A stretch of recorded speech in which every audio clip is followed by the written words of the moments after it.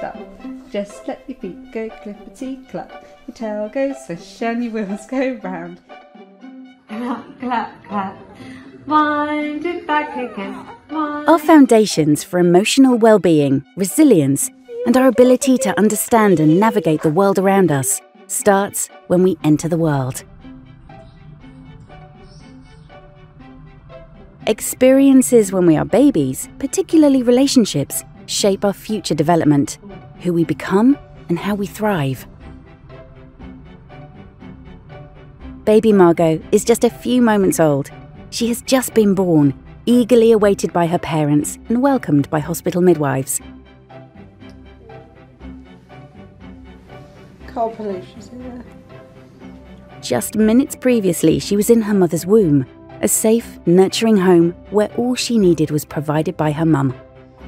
And now her little body has to adapt and survive out here in our world, with a brain roughly only half the size of an adult's and undeveloped. Margot is almost entirely dependent and vulnerable. Babies are amazing social beings right from birth. Even though the primitive part of their brains focuses on survival, they are born ready to connect with others.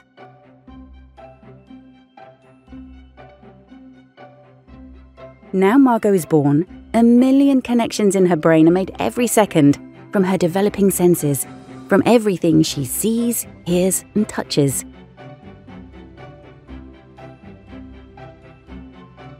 As she senses her new world, electrical impulses fire along connections in her brain as it develops and grows. Survival instincts help babies to feed and keep safe. Incredibly, Margot can sense her mother's milk supply and moves to reach it and begin breastfeeding within the first few minutes of birth. When she kisses her, Mum picks up the bacteria on Margot's skin and makes antibodies ready to be passed on in the next feed. Margot is comforted by her mother's familiar heartbeat, voice, and touch. With Dad too, his voice is comforting. She recognises it from hearing it in the womb, and she enjoys taking in his smell and voice. She's got toast crumbs on her already. She is also prepared to make connections with the other sounds and voices she's heard in the womb, feeling reassured by connecting to her family. Margot's family and their friends are keen to meet her. Her vision is undeveloped and she cannot see far, but when close enough, she quickly starts to focus on faces and objects close to her. Miraculously, she even subtly mimics them, one way that we learn as human beings, which starts from birth.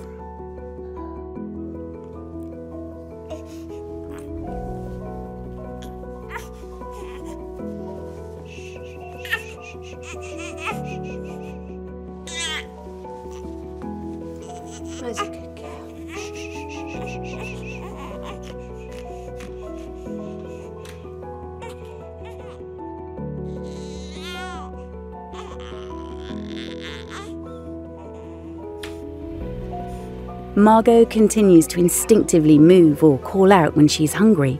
The primitive part of her brain continues to focus on survival. Subtle cues such as nuzzling or sticking out her tongue help Mum read and respond to her needs.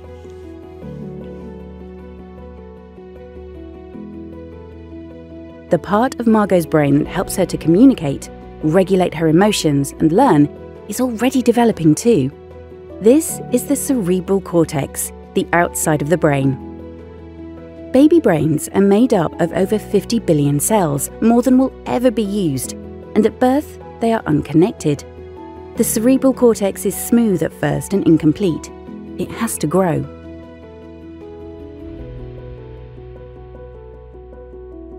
As Margot begins to experience her new world, these brain cells will sprout thin tendrils, seeking to make connections with other cells nearby. This is the process by which she will store her new skills and behaviours.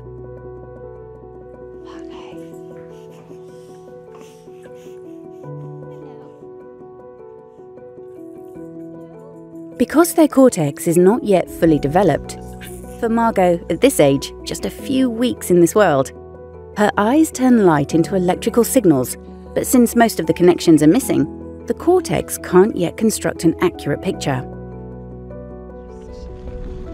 She can't yet combine the image from both eyes, and it's not just sight, all of her senses are disconnected. Signals can spill over from sight to touch and smell and hearing, making the world especially strange.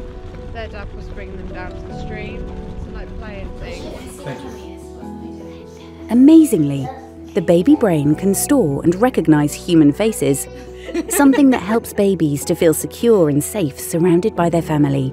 Are you frowning at Sam? Margot? Where's your number? Margot. Hello? The baby brain also forces them to look at things that will improve their vision. At first, they cannot process colours, only contrasting bold patterns of simple objects and toys.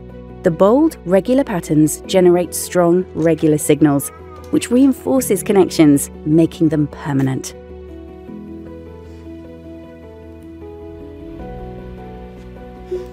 Through trial and error and a range of stimulating experiences, Margot's cortex is constantly rewiring, learning to recognize and understand the world around her.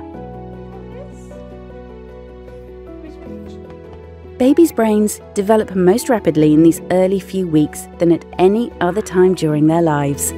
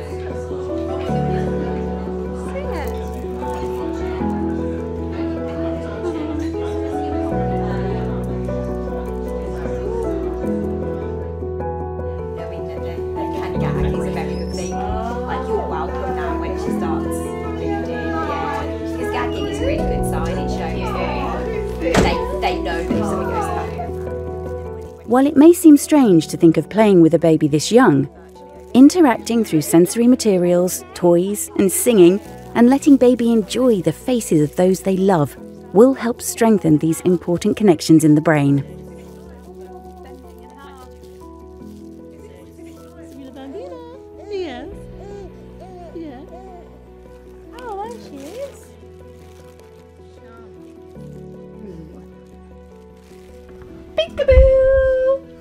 Peekaboo! Kill. Babies learn most through their relationships. Depriving a baby of these opportunities can lead to much slower development and different connections being formed, leading to possible behavioural challenges in later life. You, are you trying to get to that? Most babies are ready to communicate with others from birth as long as they are not poorly or premature. They want people to interact with them. As Margot grows and her vision extends, she starts to seek to attract attention and engages to practice her communication. Yeah, we're talking about you. Her smiles gain positive responses and encourage those around her to interact with her. you tell me about your day. Uh-huh. Yeah. And then what did you do?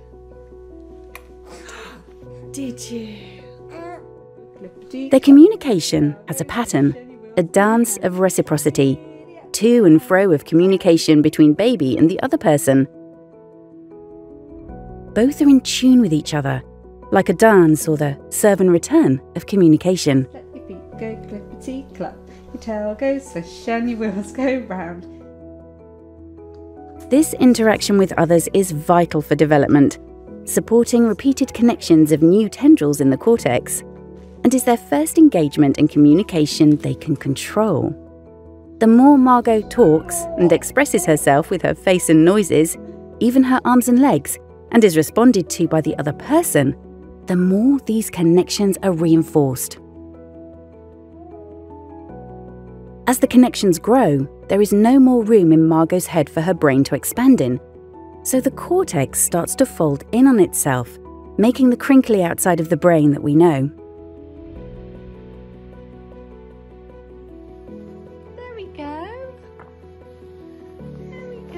The positive responses from those around her encourages Margot's learning and development. Interacting with other people literally grows her brain. Relationships are like brain food. No. Oops. Margot. Sleepy Bunny, said Mrs. Rabbit. Peter looked at his baby sisters. They The more they communicate together, the faster Margot's brain develops, and as it strengthens, Margot is able to start to process other forms of communication. that all do nicely. Margaret, maybe you're happy to go away? Changing. Had a very shiny nose. And if you ever saw it, Margot's senses are still undeveloped, so recognizing complex adult conversations is challenging. But when she's able to attract attention, her new friends turn to face her and speak more slowly, directly, and in sing song tones. Yes. Come a bit closer. Can you see me now? Yes, you can, can't you? Slowing down and expressing words in this way helps baby to start to recognize simple words, tones, and phrases, which will help them learn to understand those around them.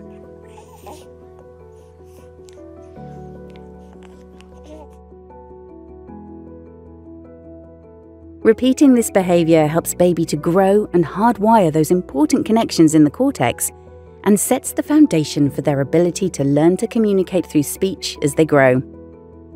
Specialist cells called glial cells coat the connections that are used again and again, and this hardwires them. This is how we all learn and why practicing a new skill helps.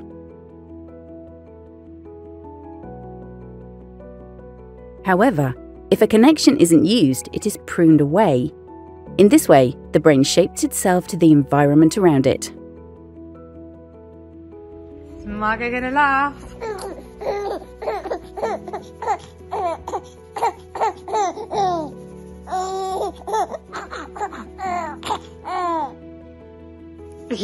In these first two years of life, Margot's brain is growing very fast. Everything she sees, hears, touches, tastes, and smells will help her brain to grow. Everything in her environment, but especially in her relationships. Hey, Margot. Ah, you. Oh. The to and fro of communication helps feed babies' brains to shape them for the future, helping with regulating themselves, processing feelings, being in tune with others and their long term mental health. These babies can't speak yet, but they can certainly communicate. The relationships they have is where most of their brain development happens. Relationships make brain food in this way throughout our lives. The next big push in brain development will happen in adolescence when hormones and further reshaping of the cortex takes place. But the brain carries on making new connections over a whole lifetime, learning new things, talking with friends and family, connecting and communicating are all brain food in older adults too.